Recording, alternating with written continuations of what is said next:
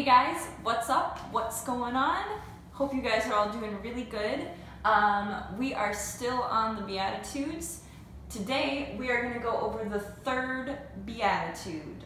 Third Beatitude. So, um, without without much further ado, let's just get into it. All right. So, as I said, today is the third Beatitude. So the third Beatitude goes like this. It says, Blessed, remember that all of the Beatitudes, mm, different marker, all of the Beatitudes start with that word blessed. Blessed.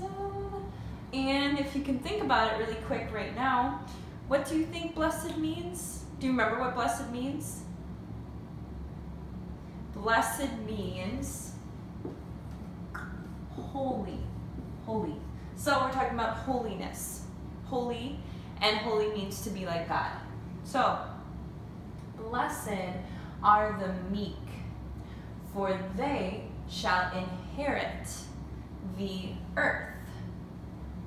So let's start with the first part. Blessed are the meek. Okay, so now, you first graders, I'm not sure if you know what the word meek. So that's why we're going to break it down really quick and explain it. So, meek. Someone who's meek is someone who is really humble. Okay, so now you might think, okay, that's great, but what does the word humble mean? So, humble um, is someone who always puts other people first. Someone who is meek, who is humble, um, will always put other people first and will always want to love people first. So for instance, an example of this would be, say, say you as a first grader are back at school, even though we're not at school, and it's not your turn to be first in line. You're like, ugh, because you wanted to be first in line, which is normal. A lot of us want that, want to be first in line. But a humble person or a meek person doesn't want to always be first. Instead, a humble person would be happy that someone else got to go first. Instead of thinking how they didn't get to go first, they would be like, hmm, well, I'm happy for that other friend. I'm happy for that other first grader that they got to go first in line. So, our best example of someone who is meek or humble is Jesus. Because when Jesus was on earth, um, he would heal people, he forgave people their sins, which means that even though those people kind of hurt him, because when we sin, we hurt Jesus, we hurt God, he forgave them. He didn't hold it against them, he forgave them their sins. So Jesus is someone who was really humble. He put other people first.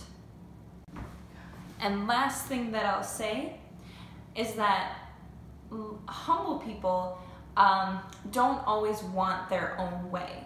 So someone who's meek, who's humble, doesn't always insist that that we need to do it this way because it's the way I want to do it. A humble person would say, well, I want to do it a different way, but it's okay that you want to do it that way. And maybe this time we should just do it your way. So those are some examples of people being humble, meek people. Okay, the last part of this beatitude is, so blessed are the meek. Then it says, for they shall inherit the earth.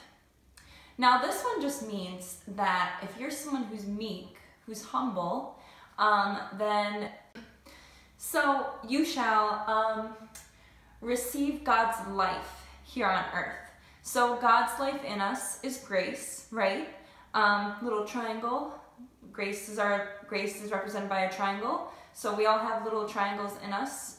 God's grace in us, and um, this last part just means that if you are meek, you shall inherit God's life on earth, which is His grace. And it also means that you shall inherit God's life in heaven. So you'll have God's life here on earth, And God's life helps us to be happy, helps us to be holy, and you'll have it in heaven. All right, so that's that's this beatitude. Now, what I've done for you guys, I've put together a quick video, real quick, that helps illustrate this. I'm going to show you guys this next clip, um, and in it, I'm going to ask you a question about how someone should respond in a meek way to a situation. So let's watch that clip, see how you guys do. On this lovely, beautiful day, Miss G is getting ready to kick a kickball. Let's see what happens to Miss G.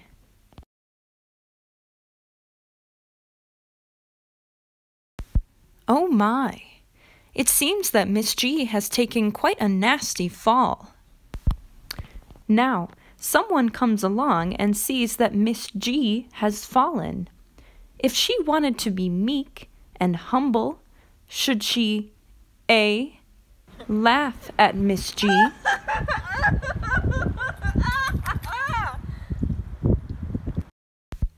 Or should she B. Help Miss G get up?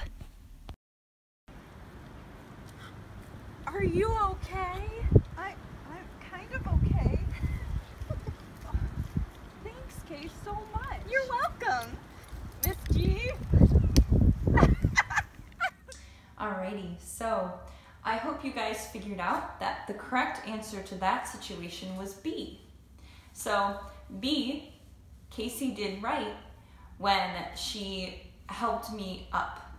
And instead of mocking me, she was a friend to me. She helped me up. So, um, what I want you guys to do for this lesson, um, I want you to think kind of hard. Think about it. And I want you to think of someone in your life who you know is meek. So, how, how do I know someone's meek? Well, someone is acting meek or humble when they help you with your homework. Even if they have other things they could be doing, but they take time out of their day to help you with their homework. That's someone who's being meek, who's being humble. Um, another example, someone who um, takes time out of their day to play with you. Um, even though they might have other things they might want to do, they're um, taking their time to play with you and have a fun time with you. So that that would be someone who's being meek, who's putting other people first. Um, another example of someone, this might directly be like your mom or your dad, um, or someone else in the family, but it uh, someone who provides food for you, who works so that you can have food, so that you can eat. Um, that's an example of someone being meek. They're being humble. They're putting other people first, and they're sacrificing. They're doing hard things to make sure that you guys are fed and happy and safe. So I want I want you guys to think of someone in your house or maybe someone outside of your house um, who is meek, who is a good example of being meek. And then I want you to draw a picture of that person. So draw a picture of that person who is meek. And then underneath your picture, I would like, let's see, I would like at least one sentence, two maybe, um, or three. I know some of you guys could write three. So, um, sentences on why this person is meek. So, for example, you could say, I'll write it down here. My mom is meek because because is meek because she dot dot dot because she what? Because she helps me with my homework. Because she does the dishes for me. Um other things like that. And then so when you draw your picture you could just draw your mom. I don't know what your mom would look like. Smiley face. Um, or you could also draw your mom doing, actually, let's do this. Let's have you draw a picture of your mom and match your sentence. So if you say, my mom is meek because she helped, she does the dishes, then you need to draw your mom doing the dishes. Okay? All right. Hopefully that's clear enough. And you guys can, of course, use Class Dojo. Uh, show me a video of your drawing and your sentence or your two sentences or your three sentences um, beneath it. Show that to me on Class Dojo in a video and I would be so grateful. Um, I'm excited to see what you guys come up with, who you guys think of that you know that is meek. So, all right. Uh, thank you guys for this video. Thank you for tuning in. Um, if you have any questions about it, please feel free to let me know. Please message me um, on Class Dojo. And that that's all I've got for you today. So we're gonna tune in again on Friday. Uh, thank you so much. Bye guys.